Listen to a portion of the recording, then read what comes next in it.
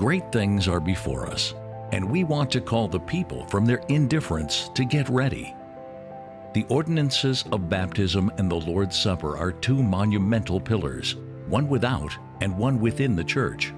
Upon these ordinances, Christ has inscribed the name of the true God. Christ has made baptism the sign of entrance into his spiritual kingdom. He has made this a positive condition upon which all must comply who wish to be acknowledged as under the authority of the Father, the Son, and the Holy Spirit. Before man can find a home in the church, before passing the threshold of God's spiritual kingdom, he is to receive the impress of the divine name, the Lord our righteousness. We are not now to cast away our confidence, but to have firm assurance, firmer than ever before. Let thy kingdom come.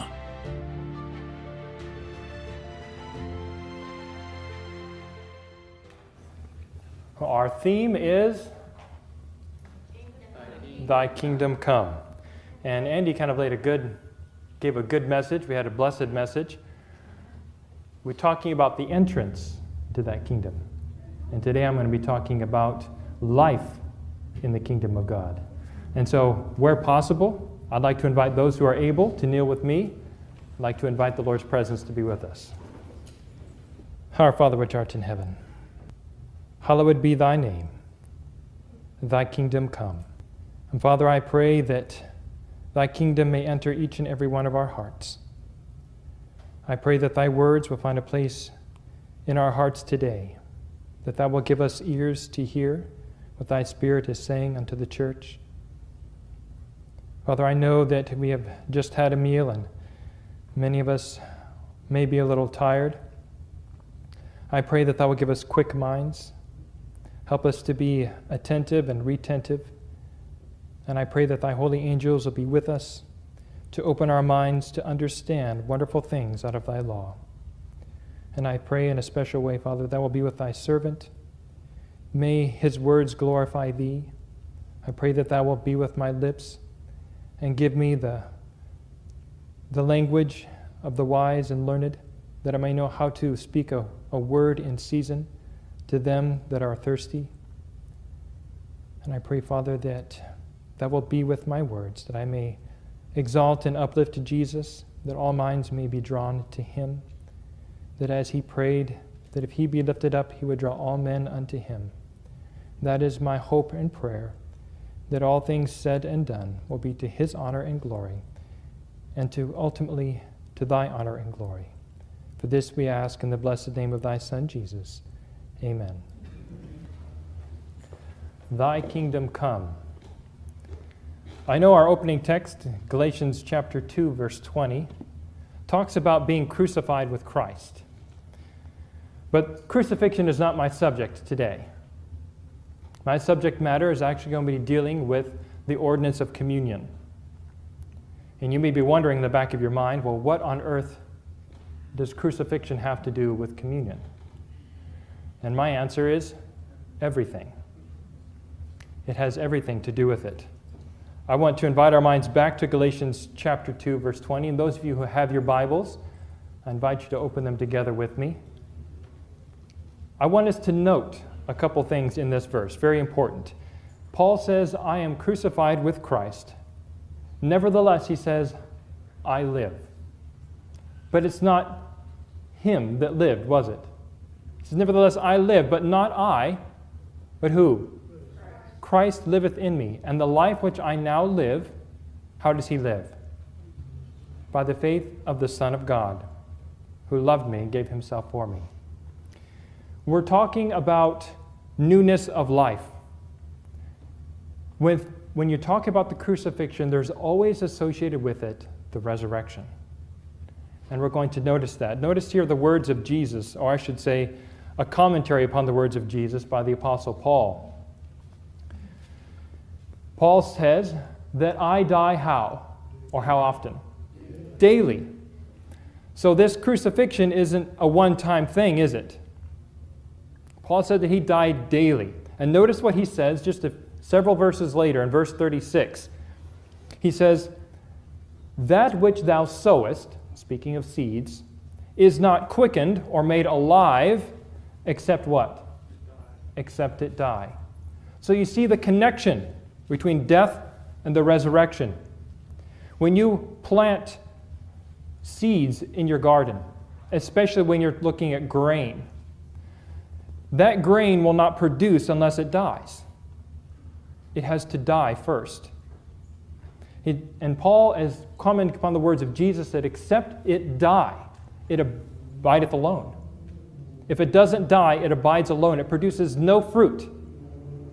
But God is glorified when we produce fruit. Amen? So before there can be new life in Christ, there has to be what? Death. That's right. Except that seed die, there is no life. And notice Galatians chapter 6, verse 14. There, the Apostle Paul says, But God forbid that I should glory, save in the cross of our Lord Jesus Christ. He glorified in the cross. Now, that might seem like a difficult thought for many of us. Glorying in crucifixion, glorying in a death such as the cross. But Paul said, God forbid that I should glory in anything save what? The cross of Jesus Christ. Now, notice what he says. He says, By whom the world is crucified to me, and I unto the world. Have you ever thought of that phrase? I know not too long ago it struck me. By whom? I am crucified. Who crucifies me? Christ. That's right. By whom I am crucified to the world, or dead to the world, and by whom the world is crucified unto me. It's Christ that crucifies all worldliness in me, all desires for worldly gain, prosperity, advancement. It's Christ that crucifies that in me and crucifies me to all of that. And that's the subject matter of what I want to talk to us about today. And I want to note how Paul expresses it. He sums up what we've looked at thus far in Romans chapter 6, verses 1 through 10. I want to read them together with you. Paul says, What shall we say then? asks the question. Shall we continue in sin that grace may abound? God forbid. How shall we that are dead to sin live any longer therein? Dead to what? Dead to sin. Know ye not, he continues, that so many of us, as were baptized into Jesus Christ, were baptized into his death. Therefore, we are buried with him by baptism. So we see what baptism is a symbol of. It represents the death, and death specifically to sin buried with him by baptism into death, that like as Christ was also, excuse me, raised up from the dead, resurrected, by the glory of the Father, even so we also should walk how? In newness of life. So the resurrection of Jesus from the dead is representation to us of newness of life. We are not to remain dead. Sin is to remain dead but we are resurrected in newness of life, even the life of Christ. Verse 5 For if we have been planted together in the likeness of his death, again drawing upon the language of sowing, if we are planted together in the likeness of his death, we shall also, or we shall be also, in the likeness of his resurrection. Knowing this, that our old man, is crucified with him, that the body of sin might be what? Destroyed. That henceforth we should not serve sin. So he's saying the same thing over and over again. The crucifixion of sin is death to sin in us. But what does that mean practically? How do we die to sin? By ceasing to serve it. And in this very chapter, of verse 16, Paul says that, Know ye not that to whom ye yield yourselves servants to obey, his servants ye are, to whom ye obey. So, this is to teach us what it means to be dead to sin. He continues, verse 7 For he that is dead is freed from sin. Verse 8 Now, if we be dead with Christ, we believe that we shall also live with him, knowing that Christ, being raised from the dead, dieth no more. Death hath no more dominion over him. For in that he died, he died unto sin once. But in that he liveth, he liveth unto God. And this is to be our example. Paul is here trying to help us understand the significance of baptism. And if we want to understand not only the significance of baptism, but what is to follow baptism, we need to go back to the Old Testament and understand where or what system was replaced by communion.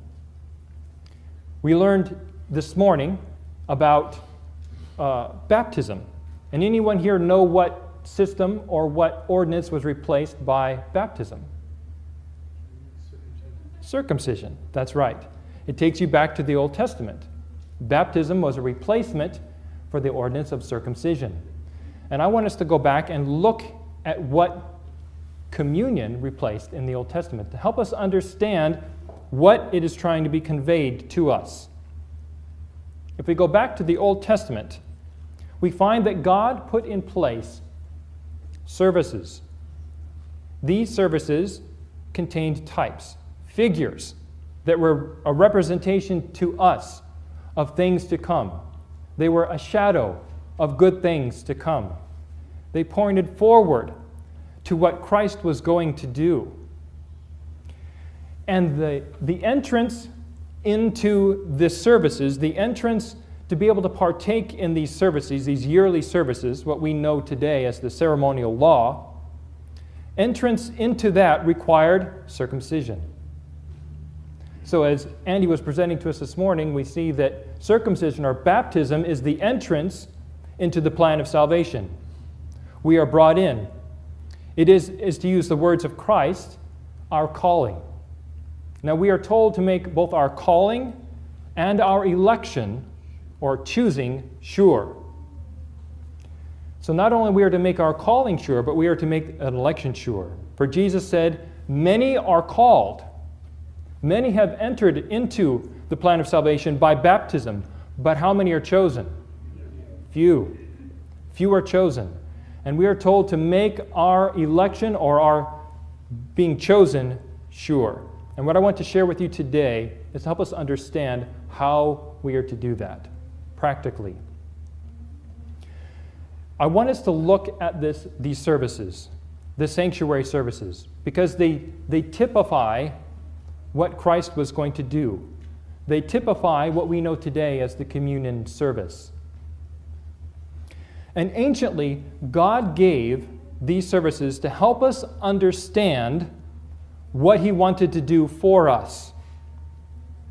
The sanctuary service was instituted to teach us an important lesson.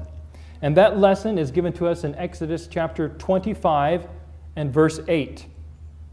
What did God want them to understand? Moses wrote, quoting the Lord, and let them make me a sanctuary that I may what? Dwell among them. What was the purpose of the sanctuary? That God may dwell among them.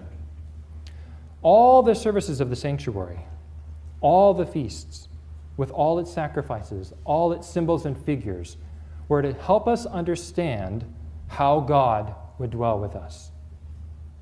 That's what those services were to teach us. How is it that God dwells with us? Well, what does the sanctuary service teach us? What is the main focus of the sanctuary service? It deals with sin. That's right. How sin is put away. You see, before God can dwell with us, sin has to be removed from us. Otherwise, we would be consumed. God is a consuming fire. And the sanctuary service was that God might dwell among his children, his people. And it was to teach us how sin is put away from the life.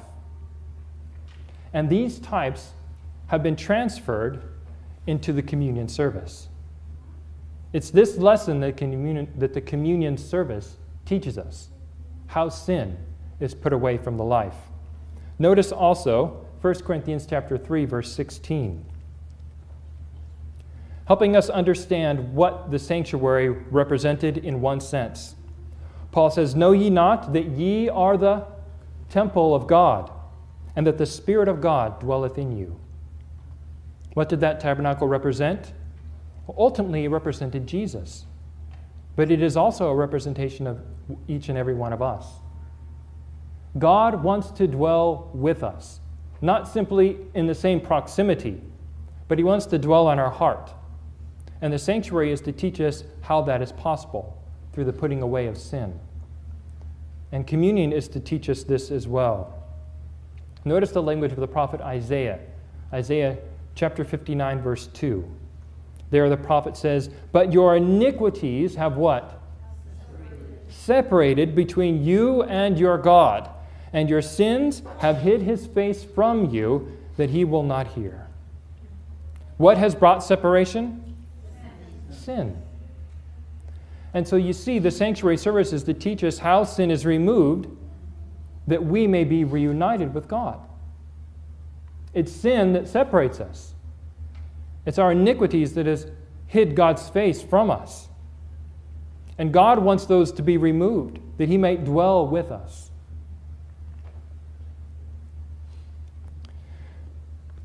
But before we touch the communion service, there is something that transpired in the upper room.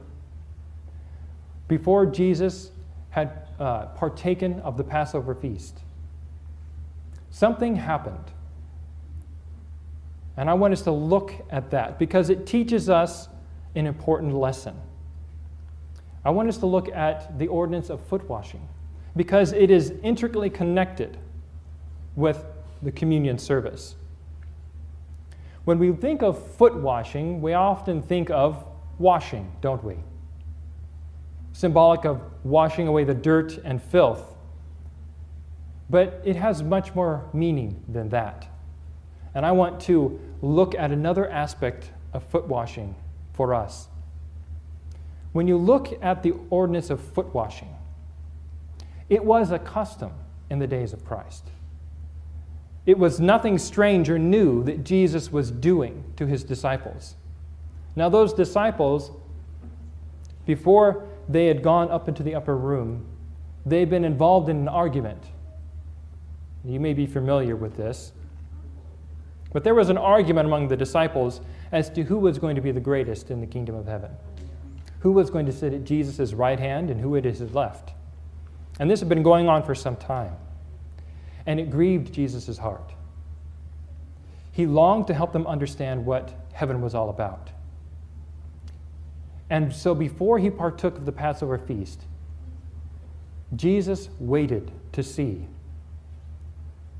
if one of them would begin to wash the feet. Because it was customary that the owner of the home would usually have, would do it himself or would have one of the servants wash the feet of his guests.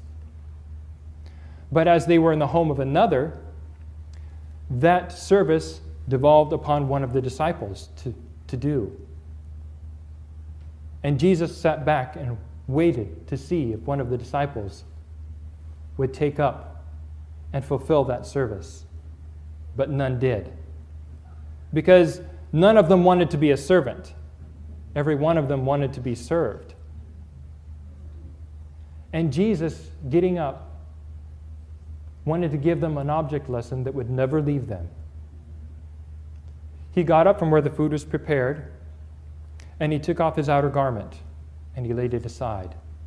And the disciples were looking at him with shock. What is he doing? And he took a towel, and he girded himself with a towel. And he took a basin of water, which was used by the Jews for washing of hands and before they partook of their meal. And he took and he poured of that water into a basin. And then they knew what he was doing. And Jesus began to wash the disciples' feet. Now, foot washing means much more than just the cleansing of sin or, or the cleansing of the defilement of the way from a person. You see, before we can begin to partake of the communion service, something has to happen in the heart. And Jesus was trying to teach his disciples what has to happen in the human heart before we are fit to partake of the communion or of the Passover as they were preparing to do. Because communion was about to replace that feast of Passover forever. So Jesus begins to wash the disciples' feet. Now, why did Jesus do this?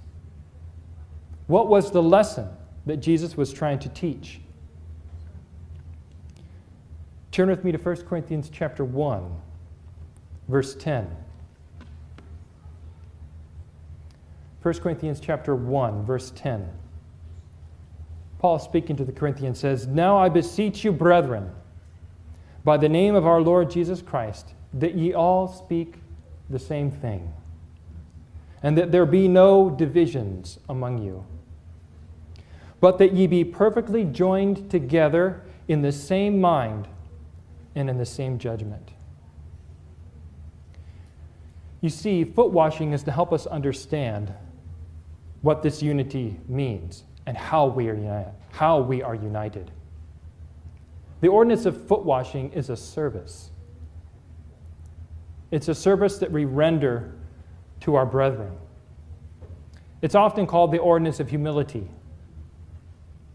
That it requires us to play the part of a servant, to render service to another. And in this lesson, Jesus was trying to help us understand what heaven is all about. Heaven is not about being served, heaven is about serving others. Jesus said, Ye have seen how that the great men of this world, how that they are great and they command others. But he says, In heaven it is not so. But those who would be great, they must learn to serve. For the Son of Man came not in this world to be served, but to serve and to give his life a ransom for many. In this, Jesus is trying to help us understand what heaven is all about. Heaven is about service. But none of his disciples were willing to serve. There was division among them. They were not of the same mind, they were not of the same spirit, they were not of the same judgment. And before they could understand and appreciate the Passover meal and the communion service that Jesus was about to institute, they had to have that part of them crucified. Self had to die. They had to be willing to serve one another, willing to minister to one another. And this is what heaven is all about. It's what the sanctuary service was to teach us.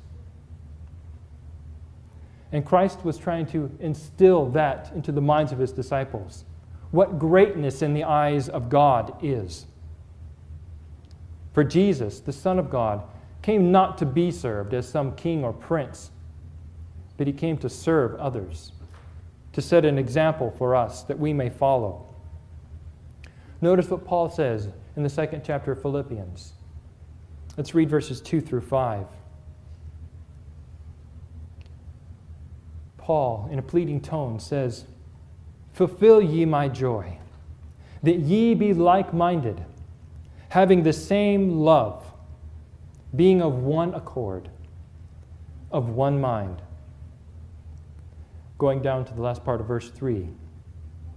In lowliness of mind, let each esteem other how? Better than themselves. Is that something that comes natural? No. It's something that strikes at the very heart of every one of us. Perhaps one of the hardest things to do to esteem your brother better than yourself. We like others to esteem us better We love to be appreciated, but heaven is about appreciating others, serving others. And that's what foot washing is to teach us. That is why we serve in washing feet before we partake of communion. It's to teach us how we are fit to have part in the kingdom of God. For unless that work is done in each of our hearts, we have no place in heaven. For all, for all of heaven delights in serving. The angels who excel in strength, before whom even one angel, 185,000 men, died. Yet those angels delight to serve you and me. They are here now ministering to us.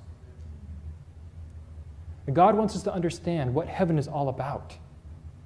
And often we lose sight of it. And it's this service that is to bring it back to mind, to reinstill that brotherly love and kindness, the willingness to serve, to give of ourselves for one another. The, the apostle continues, verse 4 Look not every man on his own things, but every man also on the things of others being concerned for our brother's welfare, his things, his life, his circumstances. Do we rejoice with those who rejoice? Do we weep with those who weep? Are we as concerned for the things and the circumstances of our brother's life as we are for our own? That's what the service is to help us understand. Verse 5. This is the context of when Paul said, Let this mind be in you, which was also in Christ Jesus. It was that mind that Jesus was trying to demonstrate to his disciples before the Passover feast. That joy Jesus wanted to be fulfilled in his disciples. He wanted them to know the joy of service, of sacrificial giving, of giving of oneself. Greater love hath no man said Jesus. than he laid down his life for his friend. And Jesus said, I call you my friends. That's the great love of heaven. Now we come to the communion feast. After Jesus had washed the disciples' feet, then they all sat down in preparation for partaking of the Passover meal. And at this meal, Jesus instituted what we know today as communion. But anciently, it was the Passover meal. In John chapter 6, Jesus helps us to understand what is being prefigured in the communion feast, what the wine or grape juice represented, and what the bread represented, its significance. Jesus said in John chapter 6, verse 57, I live by the Father. So he that eateth me shall what? Shall live by me.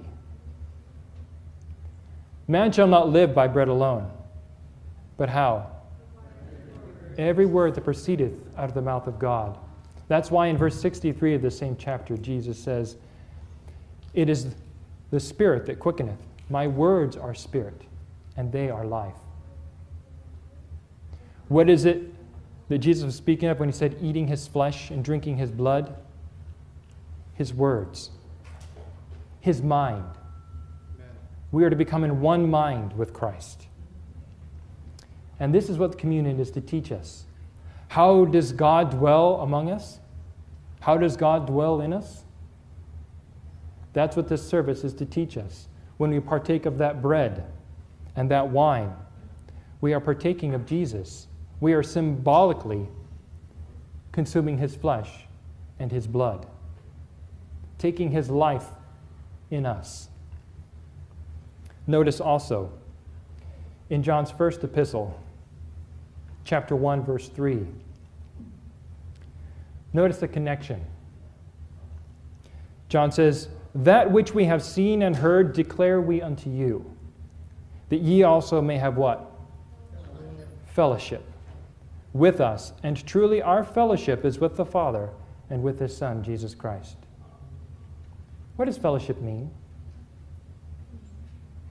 What's another word for fellowship? Communion. You see, God wants to have communion with us. Not simply communion one with another, but it's God who wants to commune with us. Revelation 18, verse 4, speaks of the same language, but in a different connotation. Speaking of Babylon, the Apostle John says, And I heard another voice from heaven saying, Come out of her, my people, that ye be what? Not partakers of her sins. Just as we partake of the bread and of the wine. In this same way, we partake of the sins of the world. For if we become partakers of the sins of Babylon, we shall also receive of her plagues. 2 Peter chapter 1 verse 4. Same word that is translated communion. Peter says this, whereby are given unto us exceeding great and precious promises, that by these the promises. And we saw one of the promises that Jesus made earlier today regarding baptism. That by these, these precious promises, ye might be what? Partakers of the divine nature. How is it that we become a partaker of the divine nature? Nature? Through the promises, through His Word. Having escaped the corruption that is in the world through lust. How is it that we escape the corruption that is in this world? By fellowship with God through His Word. As we spend time in that Word, the mind of God is indelibly fixed or etched upon our own mind. His words become our words, His thoughts become our thoughts. No longer do we think the thoughts of the world, but we begin to think the thoughts of God as we partake of his word. Notice 1 Corinthians chapter 11 verse 29.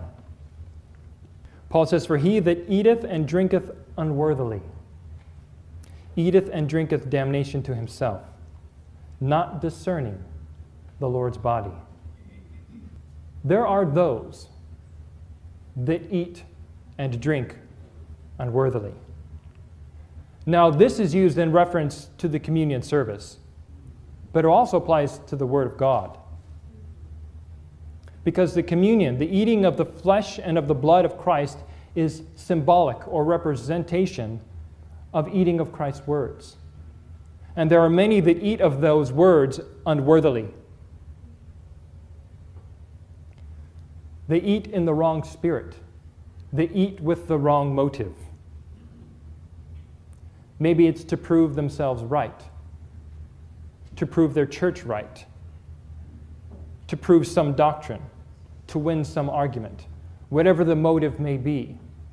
There are many that eat of the body and blood of Christ unworthily. And those, said Paul, eat and drink to themselves what? Damnation. Why?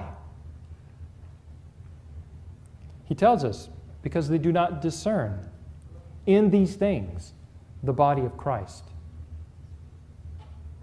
They don't discern that these things are emblems of God. They don't discern holy things.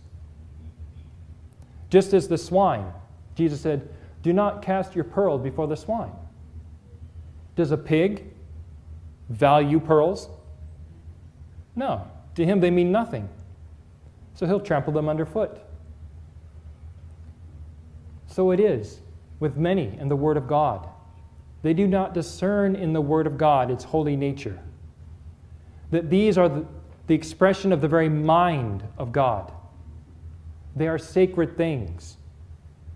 When we partake of sacred things, we are to do it worthily, having in mind that these are the thoughts of God, these are the words of God. And the Lord wants us to have a discernment when we partake of the communion service, to understand the sacredness of this ordinance, just as it was sacred to the children of Israel when they wandered in the wilderness and when they came into the land of Canaan. And during the Passover feast, all these feasts were to be to them a reminder of the sacredness of the work of God.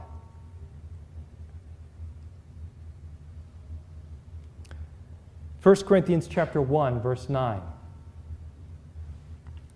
Again, this same word is used. I want us to understand in this. I want to address the question or the aspect of communion service. Because there is among us a question as to whether the communion service should be open or closed. I don't know, maybe some of you uh, have never had or learned or heard of this argument, but there has been an ongoing debate for many years now as to whether this service, which was to take the place of Passover, is open or closed. And I want to share a few thoughts from the Word of God to help us understand how the, uh, the authors of the Bible understood it and how Christians down through the ages have understood this service, how it should be kept.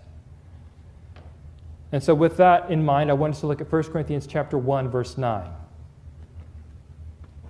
There the apostle Paul writes, God is faithful, by whom ye were called unto the fellowship of his son Jesus Christ our Lord. Now this word fellowship is the very same word that is translated communion in reference to the ordinance that Christ instituted. It's the very same word. We have been called unto the communion of the Son of God. Now, who has been called? And for whom is this service intended? 2 Corinthians chapter 6 verses 14 through 18. And I don't have all of those verses up here. I do want to read them all, though. 2 Corinthians chapter 6, verses 14 through 18. The apostle says, Be ye not unequally yoked together with unbelievers. For what fellowship hath righteousness with unrighteousness? And what communion, again, the same word, and what communion hath light with darkness? Verse 15. And what conquered hath Christ with Belial? Or what part hath he that believeth with an infidel?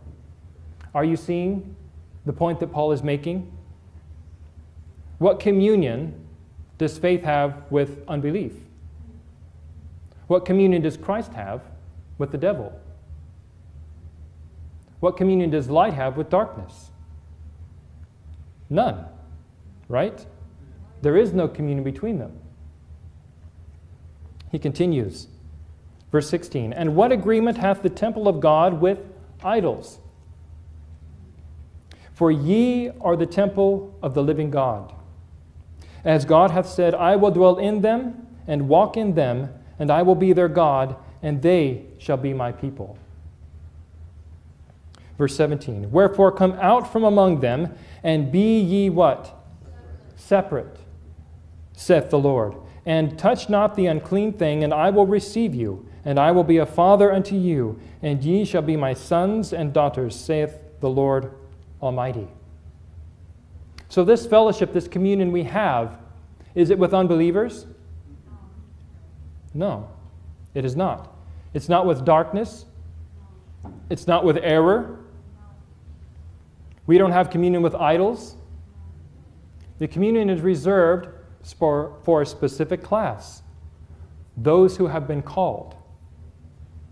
In Ephesians chapter 3, verse 9, Paul expresses this fellowship in language that is interesting.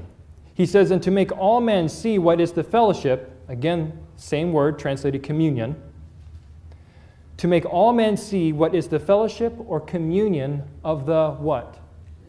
Mystery which from the beginning of the world hath been hid in God, who created all things by Jesus Christ. This communion we have, this fellowship we have, those of like faith, is called a mystery. In Colossians 1:27, Paul calls it a mystery among the Gentiles. It was a mystery to them. They had no part in it. The world has no part in this communion. It is a communion for the body of Christ. You see that in the Passover feast. You see it in the communion instituted by Jesus. It was a service designed by Christ specifically for his church, in which none other could have a part. No infidel could have a part in this because they have no part in Christ. Because it is not the communion of what we would say friendship or fellowship, it is the communion of Christ. It is union with Him. We are joined with Him in baptism. And that's what this feast is to teach us. Because when they partake of that bread and they partake of that wine, it was symbolic of taking the mind of Christ. They were coming into one mind. The same blood would be flowing in their veins that was flowing in the veins of their fellow Christian because they were partaking of the same blood they were partaking of the same bread. It was a symbolic representation that they were no longer to be divided. They had become one, and they were one in Him. They were partaking of His body, of His blood. It was that that was to unite them. They were to be of the same mind, one with another. And this service was to teach us that. It was a mystery and from the time of the apostles down until the very first part of the 20th century, communion was closed. It always had been closed communion. It's not until very recently that the communion service has been opened up to the world. And when you look at the condition of the church today, you begin to see the result of that. When you begin to bring in unworthy into the body of Christ, into that communion. It destroys the, it destroys the figure. It's a pollution of the body of Christ. It's a pollution of the blood of Christ. No unbeliever can have that fellowship. No worldling can have that communion that we have. Not even my blood brother who is an unbeliever, has the fellowship that I have with all of you. Because he is not of this body. As much as I love him, he has no part in it. And Andy talked about the entrance into that body this morning in dealing with baptism. But communion is all about the newness of life, resurrection from the dead, partaking of the mind and spirit, the words of Christ. We are to be born again. It is all about fitting us for the kingdom of heaven. The communion is to teach us what is required of us to enter into the, into the kingdom. And Brother Bill, in just a little bit, is going to be sharing with us the purpose of the communion. Is to fit us and prepare us for that great day that is upon us the glorious appearing of Christ. And that is why the apostle admonished us, uh, admonished us that it, as oft as we eat this, we do remember the death of Christ until he come. It's to be a remembrance. It's to bring us together how the prayer of Christ, that they might be one, even as we are one, is to be filled in us. And I want us to go away from here having a new perception, a new appreciation of the communion service, what it means to partake of this bread and of this grape juice. I don't want us to partake of it unworthily, but I want us to discern in it the body of Jesus Christ, the blood of Jesus Christ. Every time we open the Word of God, we have, as it were, a personal audience with God. We enter into His audience chamber. We are, in a sense, partaking of the body and blood of Jesus. And the communion service is to be a special time of that communion. It's to be a drawing together of God's people.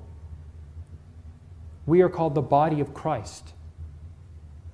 Have you ever wondered what would happen if your hand refused to serve? If your foot refused to serve? If your eyes decided they would no longer serve the body? Where would we be? God has fearfully and wonderfully made us. He's made us an object lesson to help us understand what heaven is all about, what the communion service is to teach us. As we become of the, a part of the body of Christ, we are to understand what service is. That we are here to serve one another, just as every cell in my body serves the cell beside it. Every member of my body serves my whole body for the good of the whole. And that is the lesson of communion. God will have a people who are one mind and who are one spirit. But it won't come without sacrifice. Self must be crucified, pride must be washed away. God is waiting for a people who are willing and ready to be sealed, to receive the name of God in their foreheads, who perfectly represent His Son. The universe is waiting, the angels are waiting, heaven is waiting for us. And what will we do?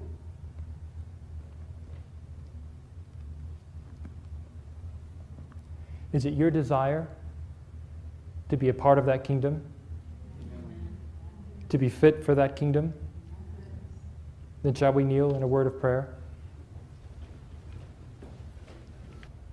Our Father, which art in heaven. Father, I thank thee for thy wondrous love.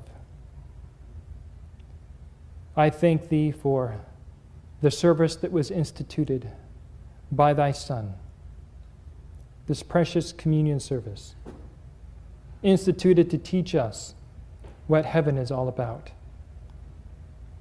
to help us understand what it means to be a partaker of the divine nature.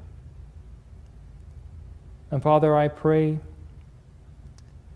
that each and every heart and mind here will not go away the same, that we will not leave this place today the same as when we came. But I pray a work will be done in each and every one of our hearts. That thou wilt place in each and every one of us a desire to be one, not only with our brother, but with thee. That we, Father, may desire to partake of the body and blood of Jesus, to be of one mind and of one spirit. That that love that flowed through the veins of Jesus that desire to sacrifice and to give of himself for the well being of a fallen world, of those who did not love him, that that same love may flow through our veins. That we, Father, may be, as it were, thy hands upon earth to minister unto the sin sick and the weary, unto those who are oppressed unto those who are longing for something better. Father, I pray that we might be truly thy body here upon earth, to minister unto this world in sickness and sin, that they may see in us a oneness, a love, and a fellowship, that they may desire. I pray that we may be to this world as it were a gazing stock, that we might be an example of what heaven is, that those who come in contact with us may receive a taste of what heaven is to be.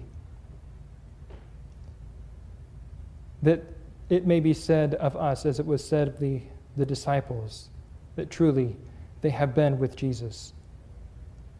Father, bless us now as we close.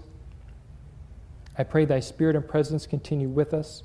Prepare our, our minds and hearts for the message that is to come. And Father, I thank thee once again for thy great love toward us. May we always be mindful of what thou hast done for us, that we too may be willing to do for others. We bless thee and thank thee, and do ask all of these things in the name of thy dear Son, Jesus. Amen. Let thy kingdom come. If you would like more information or have questions on the topics in this series, please contact us at info at phm.org.